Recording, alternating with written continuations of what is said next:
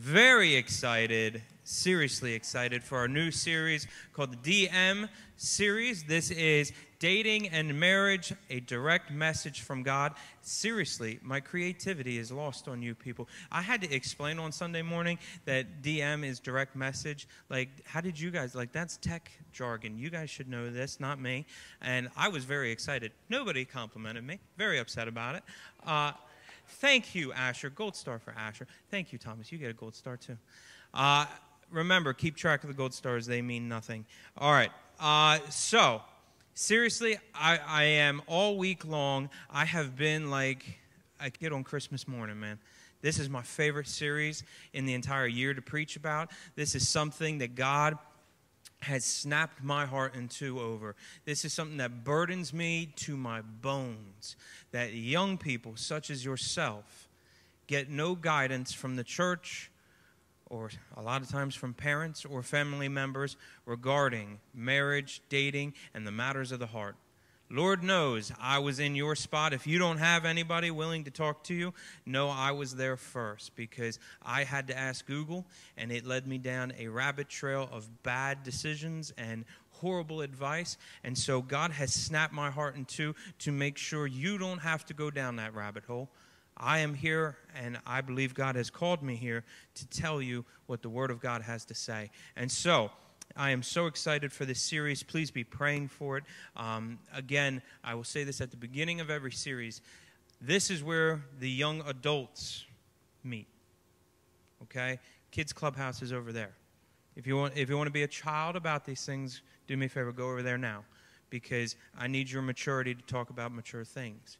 All right? These are things that everybody in here, I don't care if you want to admit it or not, have been dealing with at some level. Older ones, more severely younger ones probably not as much but i got news for you. The great thing is whether you're watching online and you're an adult whether you're a leader whether you're 12 years old i don't care because every single thing i'm going to preach about in this series is applicable to your life. Maybe not in this current season but it will be at some point. and if you're older you, maybe god's given you something to share with your children with your grandchildren with, with a neighbor I don't know. I'm not God, but pay attention because this is all amazing stuff. And He's got some really good stuff here I'm excited to give you. So, without further ado, tonight's message is going to be called What is Love? Now, before we jump in to our romance series dealing with love, wouldn't it be nice if we knew what love was? See, young people, love you dearly, but you are all foolish because there are so many times in life you want to jump into things before you even know what it is. If I honestly said, I have the keys to my Mustang, anybody who wants to drive it can, how many of you would get the keys and get in that car and try and start it? Exactly. Pretty much every boy in here. How many of you actually know how to drive stick shift?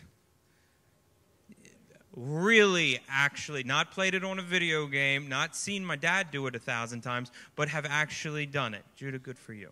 You're the last of a dying breed. Uh, but so many of you put your hands down, yet you said you would still try. Why?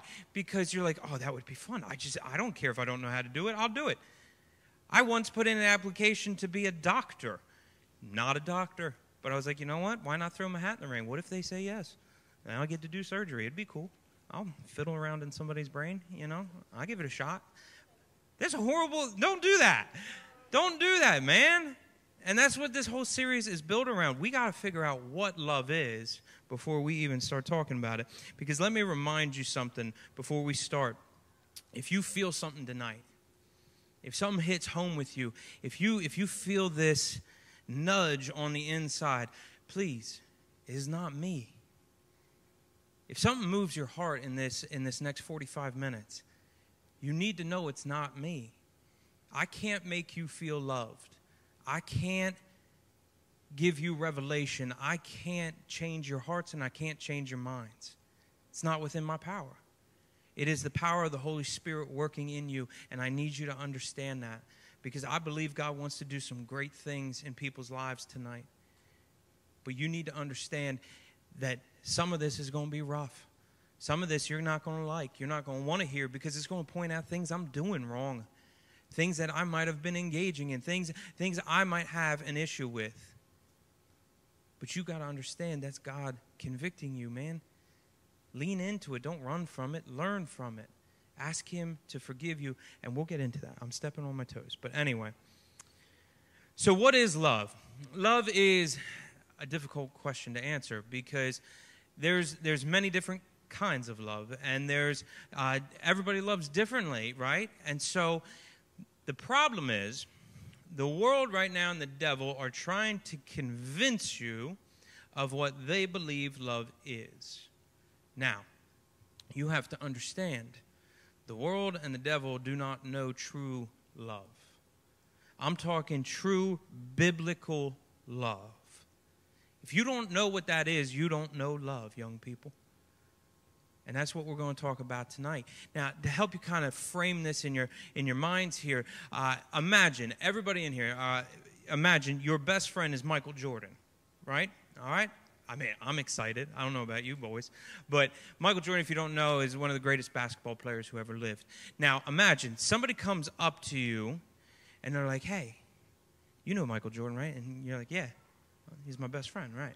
And they're like, "Did you know Michael Jordan's six six? plays for the Chicago Bulls, won six championships. You're like, yeah. They walk away.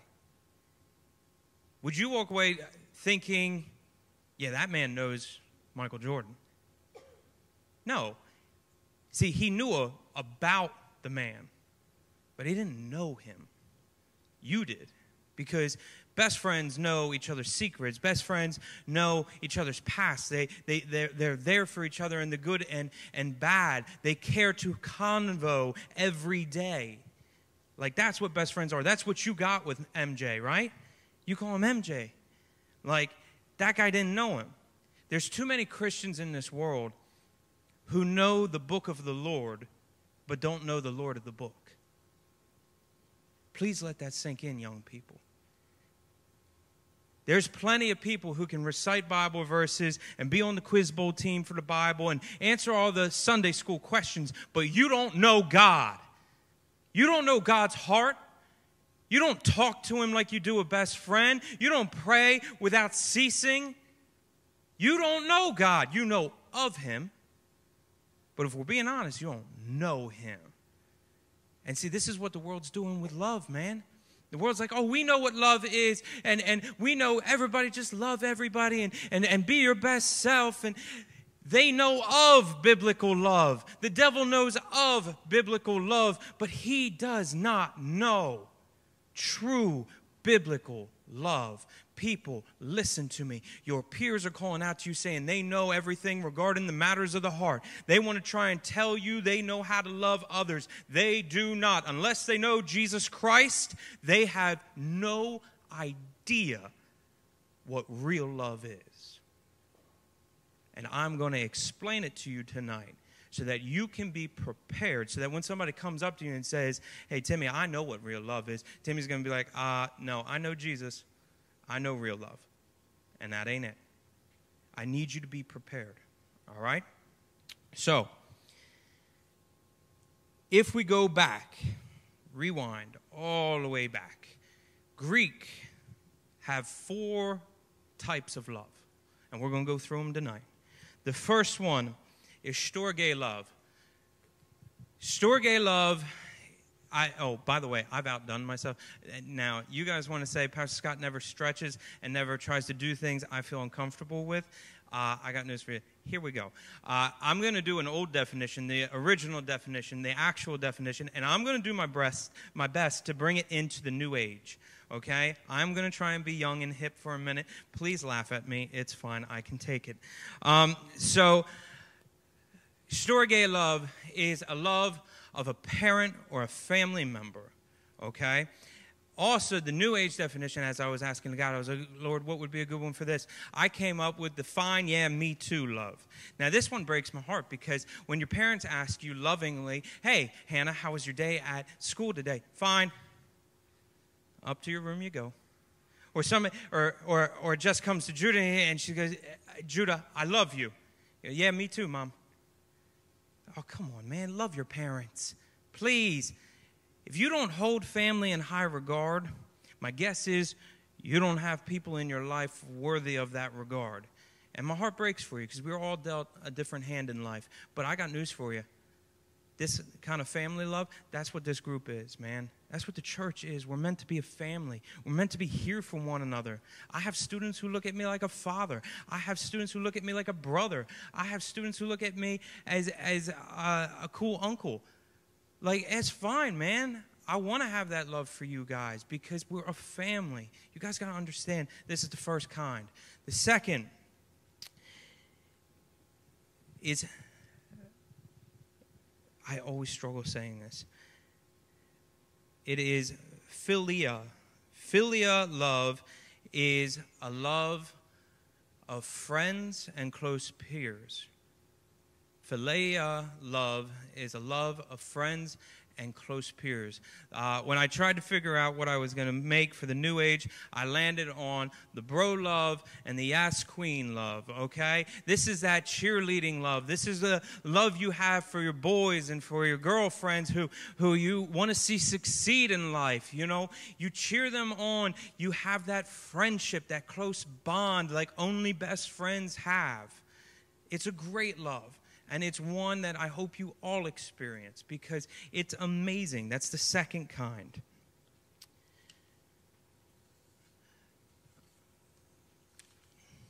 Give me a second here. The third is Eros love. Eros love is a passionate, it's a romantic, it's a sensual kind of love and God help me. The new definition is that rizz kind of love, okay?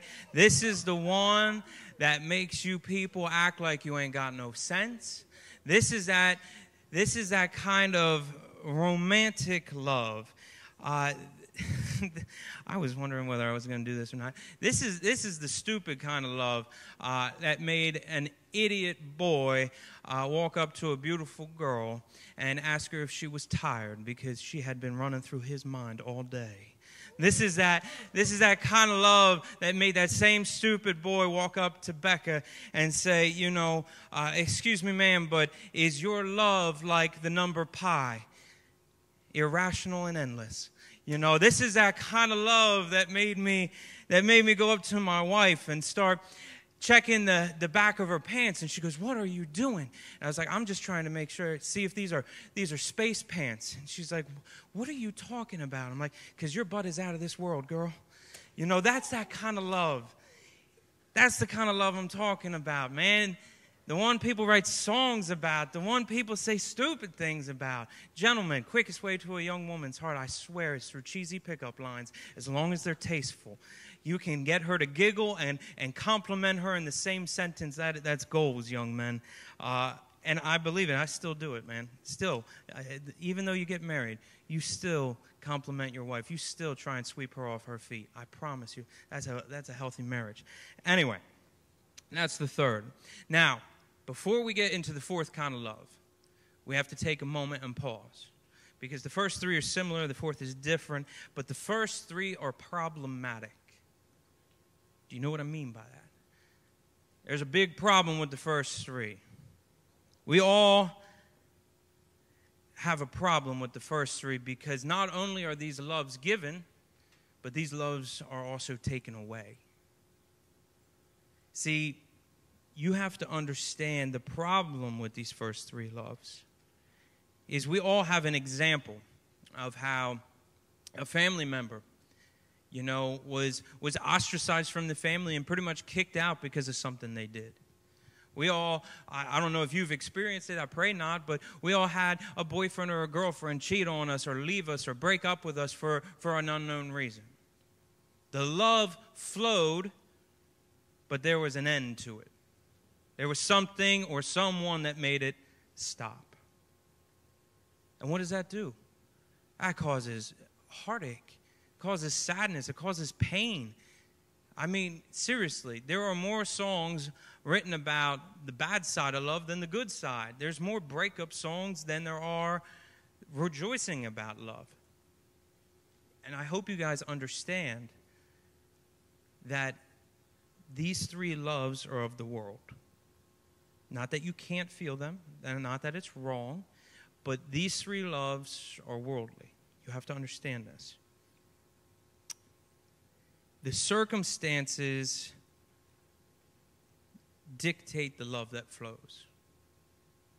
Very rarely can you find a human being who can love unconditionally. You don't believe me? Fine. I, I, I beg you to go on Instagram or, or TikTok and, and find uh, there's, there's these stupid young men that I love to follow because they go to college towns uh, and, and they go out late at night when people are drinking and they get the honest truth from people and they ask them real questions. You know, what are you looking for in a man? And, and they ask them some hard hitting questions to see what they would say. By the way, alcohol lowers your inhibitions, but it also raises your ability to be truthful. And so be careful. Uh, but I, I encourage you, find uh, a woman who says, uh, you know, you ask the question, well, what if your husband cheated on you? Would you stay with him? What if he got laid off and stopped making money? What if he abused your children? What if he killed somebody and went to prison? These are, you can say yes, but we all know it would be tough, man, to love somebody through that. It would be 99% of people probably couldn't do it. You know, the divorce rate is so high. Why? Because people stopped loving each other. It flowed at one point, or otherwise you wouldn't have gotten married. At some point, it stopped. Something caused it to stop. These three loves, they're problematic because they're given and taken. The fourth love, some of you have heard of this one before. This is agape love. The definition of this is God's love for humans. Make no mistake, young people, this is a one way affection love. God loves you, period. There is nothing you have done to earn his love. There is nothing you can do to keep it. There is nothing you can do to lose it. Do you understand this?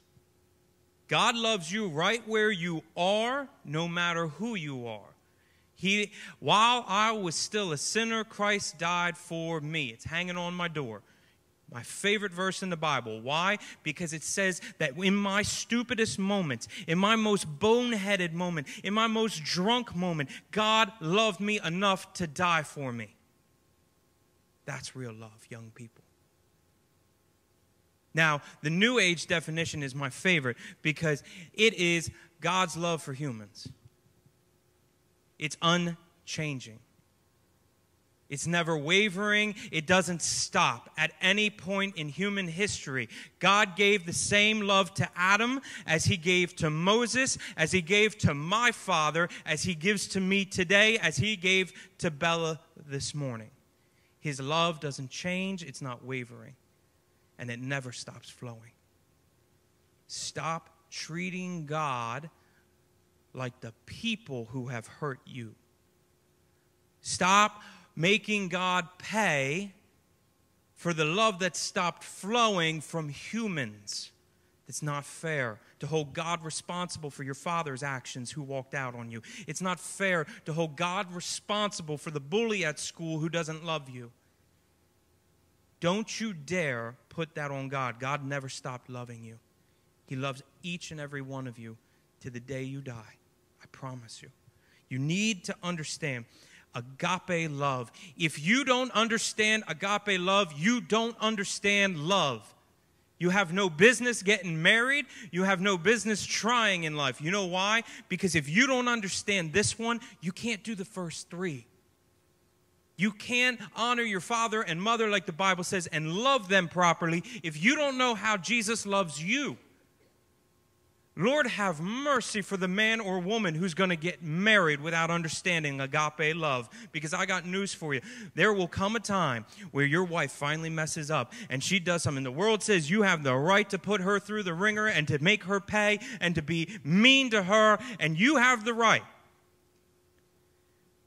But if you know agape love, you will love her the way Christ loved you. You will show grace and mercy to your enemies. because Christ has loved you. If you don't believe me, turn to John 15 10 through 11.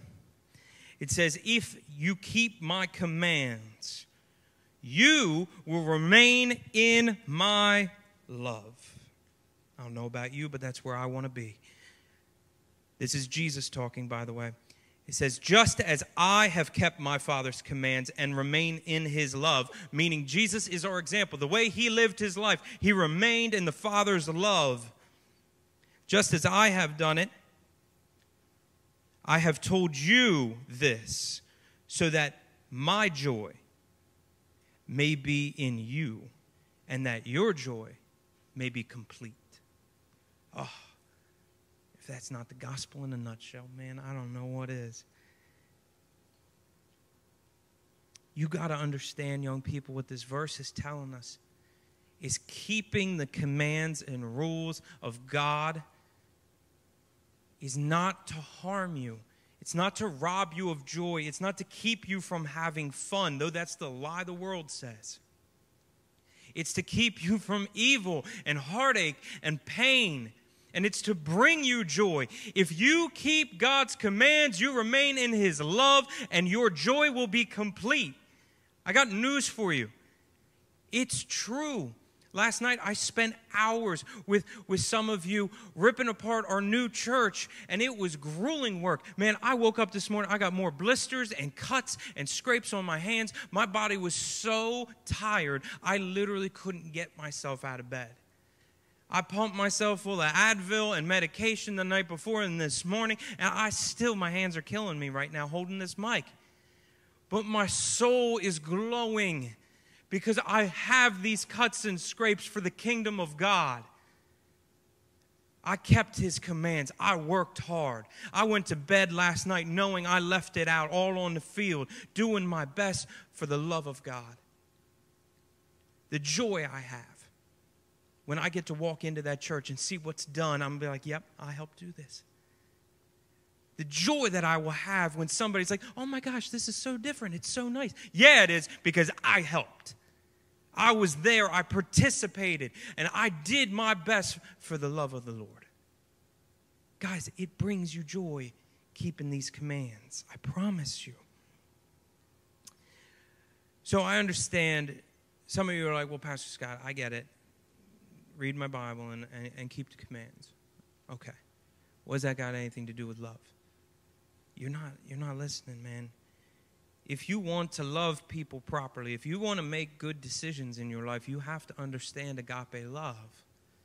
Because if you don't, you're going to make foolish decisions. I promise you. Especially regarding love. If nobody's told you this, hear it here tonight. Love will blind you. King David, greatest king ever, became a bumbling idiot when he saw a naked girl bathing on a roof. He loved her, and his love turned him into a murderer, blinded him, and made him do foolish things. Like I just said, that love I have for my wife made me say cheesy pickup lines and put myself out on a line which I would never do. How? Because the love I have for her sometimes blinds me. Be careful. You have to understand agape love in order to love people properly. So I came up, I asked the Lord, I said, help them, you know, help me, Lord, just for the rest of my life. Help my leaders for the rest of their lives. What are, what are ways, Lord, that we can keep ourselves out of trouble? And he came up with three questions to ask yourself when you're dealing with a dilemma, when you're dealing with a decision to be made. And the three questions are the first one is, what is your heart behind this? Or, in other words, why am I about to do this. Ask yourself this, especially when it comes to dealing with love. Because I got news for you. If your, your heart will tell you right away whether it's a good idea or a bad idea. If you're being honest, it only works if you're being honest with yourself. Because if my heart is angry, if my heart is upset, and the reason behind my decision is because I want to, I deserve this, Pastor Scott. I have the right to do this. Right there, we got a problem. Right there, if you're paying attention, you're about to do something stupid. Because anytime you base your decisions off how you feel or your emotions, you're about to make a mistake. Your heart is geared towards sin, young people. You are born in it, but praise the Lord, you don't have to die in it. My heart was born in sin, but I have been given a new one. The Lord has cleansed me of my sin. I don't die with sin in my heart. Now, does that mean it's not still geared towards sin? No, it is. But that's where the fighting comes in. That's where the daily battles and the struggles come in. That's where these questions are going to come in to help you. Ask yourself, what is the reason behind this? But remember, if you believe in your heart that this is God's will for me, if you if your heart behind this is because I think God's telling me to do this, that will always bear fruit. Even if you're wrong, God will still make good come out of it. I promise you. As long as your heart is truly for Him, you can't go wrong. Always check your heart, young people. The second is Would I deserve to be forgiven? Now, this one, I'm not going to lie to you, this one just sucks. I hate asking myself this question. It's really awful. Because what this question does is forces you to change perspective.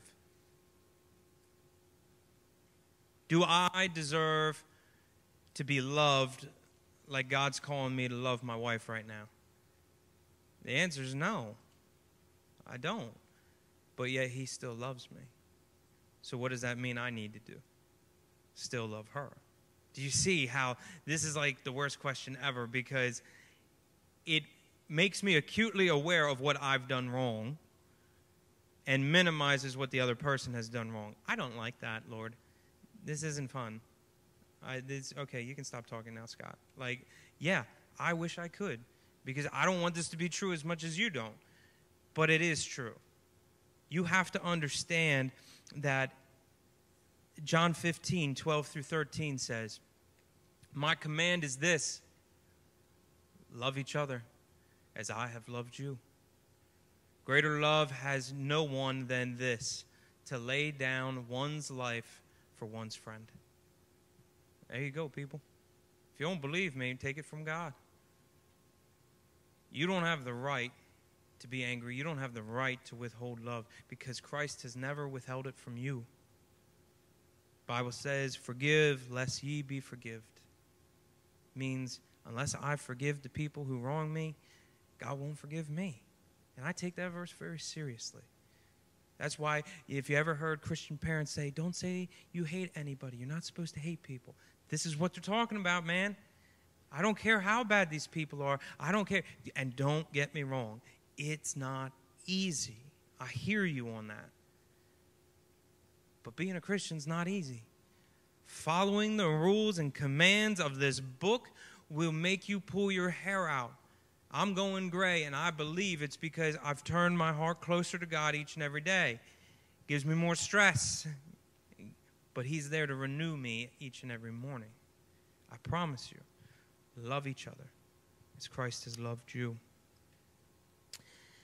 The third question Does that all make sense so far? Everybody tracking with me? We good? All right. The third question to ask yourself is are my actions and desires in the will of God? Now this is this is a good one. This is my bread and butter tonight because this is a tough one to answer. See, again, I said it once, I'll say it again. God's commands are not in here to steal your joy. They're in here to help you and your decision making process. They'll help you keep away from the evil things of this world, the things that actually want to destroy you. And they're here to help. We need to understand that God's rules are here to help. Now, the, the thing that bothers me is when you ask me the question regarding sin, regarding the Bible, and you say the words, Can I? Do you know why that bothers me deeply? Your heart is already wrong. Can I date, Pastor Scott? Can I drink, Pastor Scott? Can I get tattoos? Can I, can I, can I, can I, can I? The heart of can I is trying to figure out how close to the fire I can get without being burned. How close can I get to that line of sin without actually crossing over it? That's what you're asking if we're being honest with each other. The can I attitude will lead you to sin, I promise you. If you don't believe me, 1 Corinthians 6:12 says, "I have the right to do everything you say, but not everything is beneficial. I, I have the right to do anything, but I will not be mastered by anything." What this verse is saying is the can I attitude. Well, you have the right to do anything. You have the capability to do anything. Nate can go to a tattoo parlor tomorrow and, and you can get a tattoo. You have that capability, you have that right. But is it beneficial for you? Is it beneficial for your life? See, the right question isn't, Can I, God? It's, What's your will, God? Is this in the will of God for my life? Father, is, is dating right now, is getting married right now, is having a child right now in your will for my life? Because if not, keep me from it. But if it is, praise God, I'm in. The can I attitude. Do you know how many times, every time I do this series, you guys come up to me, Pastor Scott, when can I date? I get it. You don't want to hear this, but I love you too much to lie to you. Can I date at 13? No. You know why? Is it beneficial for you? Tell me right now the benefits at dating at 13 years old. Oh, I, uh, uh, I get to call somebody my boyfriend. There's not a benefit. It's just a fact. There's no benefit. What do you do? The benefit of, of dating at 13, you know what it is? Inviting in drama to your life, inviting sexual temptation into your life, inviting in battles you are ill prepared to fight. That's the benefit. Are you able? Sure. I dated when I was in the first grade. I told you guys this. Stupid. I gave away my first kiss before I could even remember it. I wish I could get it back, but I can't. Do you understand that I, I know some of you don't want to hear this? But there is no benefit. You have to remember are you asking the right question? Are you asking the can I questions where you just want to do what you want to do? That's your heart behind it. Well, I want to. Wrong. That's not agape love. That's not understanding the heart of your Father. That's not remaining in His will. That's not obeying His commands. Because I got news for you. Some of you come up to me and you're like, well, fine, Scott, well, how do I know if I'm in the will of God? How do I know if it's God's will? I don't understand. I don't ever hear Him. I don't, I don't get it. I don't get it. Okay, when was the last time you prayed? When was the last time you read the commands, that you read the rules regarding dating? Do you know they're in here? Do you know that God speaks to you through this book to guide you in life, to guide you into His will? He does. But yet you sit there and say, Well, I, I, I don't hear from God. That's because you don't even talk to Him. I don't hear from Eskimos in Antarctica. You know why? Because I've never reached out to one of them. Like, don't sit there and try and claim, well, he doesn't talk to me. It's because you're silent. And the moment he reaches out, like tonight, and he reaches out through a man of God who's trying to tell you the truth, you say, shut up, I don't want to listen. Let's be honest with each other. You want to say you're mature enough to date at 13 when we have a dating series and you can't even look me in the eye when I say the word sex? That you can't even come up to me and ask the questions that are in your mind regarding sex? And then you want to stand there and in the same breath tell me that you are mature enough to participate in the actions of it. That I can handle dating at 13, you can't even handle talking to me about it. What in the world are we talking about? I love you too much to lie to you. I'm not going to send you off to wolves to be devoured because I got news for you. The devil loves this. He wants you to be confused. He wants you to just jump in and turn the keys to the Mustang before you know how to drive. Because that's when you make foolish decisions. And I got news for you decisions about love, lust, and sex are irreversible. They are decisions that you will carry with you for the rest of your days. They are decisions that cannot be undone. When it comes to matters of the heart, love plays for keeps. Young people, you need to understand this. When you give yourself away to another, you can't get it back. It can't be bought back. It can't be bribed back. It can't, you can't get it back. Do you understand how serious this is? The devil and the world are trying to convince you dating in high school, dating in middle school. It's like Candyland, man. We're just playing a game. It's fine. It's fun. It's not serious. It's incredibly serious.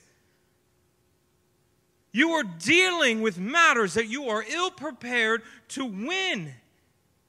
You're going to lose, and you're going to create bad habits that your future spouse will have to reap the benefits of. I promise you. Now, if you are engaging in these things currently, if you have a boyfriend, if you have a girlfriend, if you have had sex, you pay attention right now. Hear my words God loves you. Agape love. There is nothing you can do that can stop him from loving you. He sees you, he loves you. He may not be happy with what you're doing, but make no mistake, he loves you. Now, the first thought you're going to have after hearing that is, well, well, well, I've I've been tempted. You know, I, I look at things I shouldn't look at, and I, I do things I shouldn't do sometimes. And you know what? Well, I'm worthless, and, and, and, and, and God doesn't love me, and I'm useless, and I should just kill myself. And, and you're going to go down that rabbit hole. That's the first thing. Stop. That's not agape love. That's not the love God has for you. And that's not the truth. You need to understand that when you come to Jesus and you repent of your sins, you ask Him for forgiveness. And God, again, read the Bible, is rich in mercy. He shows forgiveness and love to anyone who seeks it. No one is too far gone, especially a 13 year old boy who, who has a girlfriend, but is feeling convicted right now. I shouldn't. But here's the kicker and the thing again, I love you too much. I don't care if this hurts your feelings, I'm going to hurt them. Because here's the kicker if you're feeling convicted right now, if you're like, yeah, I'm in a relationship I don't think I'm prepared for, you need to ask God for forgiveness. But part of repenting, the part everybody forgets, is the turning from your sin. It's not sorry, God, and then go do tomorrow what you did today. No, it's sorry, God, I need to try and fix this, which some of you it means letting go of that relationship you're in. That tomorrow morning I'm going to have to break up with somebody. Some of you said, well, yeah, I've had sex, and okay, you made a mistake. Repent, ask for forgiveness, but you know what you have to do now? You need to turn from that. You need to ask God, Lord, let me make a new covenant. Covenant's a, a, biblical word for a promise. God, let me make a new promise with you that from this day forward, till I get married, I'm not going to do it again. That That's true repentance. That's me saying, God, I don't want my stupid heart. I want your word. I want you. I want everything you have for me. I want to receive your salvation. I want my name to be written in the book of life. I want to inherit the kingdom of heaven. I want to walk through the pearly gates and for you to say, Welcome home, my good and faithful servant. If you want that life, if you want that power, if you want that salvation, if you want that mercy, if you want that agape love to flow in you and through you, that's all you have to do. Repent of your sins and turn from your old ways. Wednesday night was wing night at my favorite bar. Why am I not there right now? It was my favorite night of the week. Wednesday night is still my favorite night of the week, but you know why? Because I get to spend it with you guys. Because I'm in the will of God. I've turned from my old ways. That Scott that I hate telling you about, who's done stupid things and said stupid things, he's dead, man. Christ buried him in the grave that he rose out of. It ain't me. Can you say the same? Let the Lord convict you right now. Let Him bring to mind the things that you're struggling with that nobody else knows about. We're going to have time here in a moment for you to lay those down at the altar and for you to ask Him for forgiveness and show Him, Lord, how do I do this?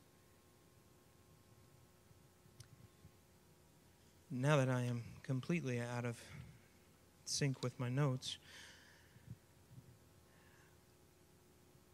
I hope you understand that this just isn't for love and the matters of the heart, but this is for all sin. I don't care if you lied to your parents or you stole a car or you murdered somebody. It's all evil in the eyes of the Lord. There's no sin that's worse than the other. They carry different consequences, absolutely, because He's a good and just God, but not one is better. All sin is evil in the eyes of the Lord, which means every single person on the planet Earth needs to repent, needs to do exactly what I talked about. But when it comes to the matters of love, when it comes to the matters of your heart, it becomes more difficult. Why? Because I love him. I love the idea of being in a relationship. I love my wife. Sometimes it clouds my judgment. Sometimes it makes it hard for me to follow this book. My problem right now is I coddle my wife too much. I tried to be her knight in shining armor, and I tried to be her savior too much. God's constantly convicting me, saying, Scott, what are you doing? Are you her savior or am I? Because you need to hurt her feelings right now and push her closer to me. Why are you not loving her like I love you? And I, and I have to do the worst thing, but also simultaneously the best thing which is fall on my hands and knees and cry out to God and say, Lord, I'm sorry. My heart breaks that I didn't listen. But forgive me and teach me how to do better tomorrow. Teach me how to lead her in the will of God. I promise you, young people, if you start asking God to understand agape love, the love that He has for you, everything else will fall into place when it comes to love in your life. You will be able to love your parents, your siblings, your friends, your boyfriends and girlfriends, and your husbands and wives completely differently and in accordance to His will. I promise you. Because again, John said it love everyone just as I have loved you.